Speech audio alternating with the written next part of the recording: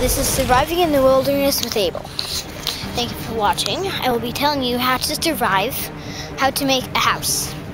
So it's very simple. All you need is either an already built house, nice cave, well, what you need is boards and probably rope.